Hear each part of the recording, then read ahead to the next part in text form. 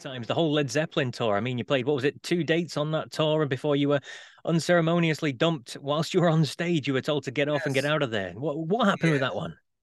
Well, the first night we were at uh, Public Auditorium in Cleveland, Ohio, and uh, the people were loving it. They, we have played, I mean, at this time in our lives, we played in Cleveland doing the Upbeat Show, uh, which was a television show that was a regional show. So it wasn't just the, in Cleveland. This this was uh, it went to over as far as Chicago and and over to New York and and uh, so Pennsylvania.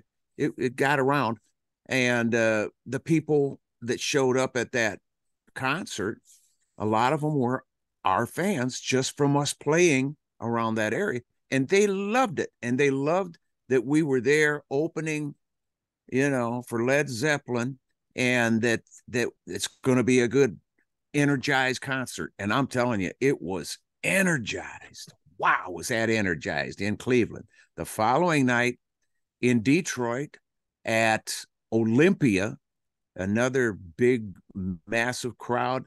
Uh, we're on stage tearing it up and the people were loving their hometown band here they are opening for led zeppelin this big band uh, and peter grant the manager uh, for zeppelin came out and told our manager terry knight to pull the plug get him off the stage he says or i'm going to pull the plug get him off because we had the crowd up, brother. I'm talking.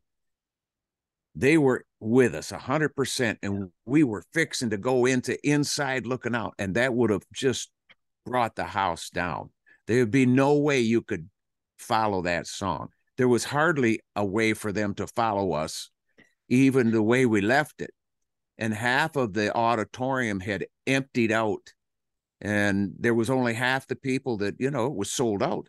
And then uh, after an hour and a half after we got off the stage, Terry came out and said, uh, because of contractual obligations, uh, Grand Funk has to leave the stage. And oh man, the people were booing, hissing, throwing wine bottles, beer bottles, whiskey bottles. Oh my God. Uh, they didn't want us to leave.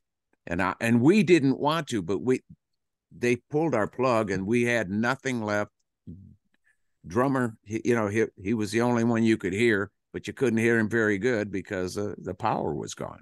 So when we went off the stage, uh, the fans were disappointed, disgruntled fans, and uh, but it did give some space for Mel, the bass player, and myself to go out into the audience and set at the center of the auditorium about midway. We were just behind oh.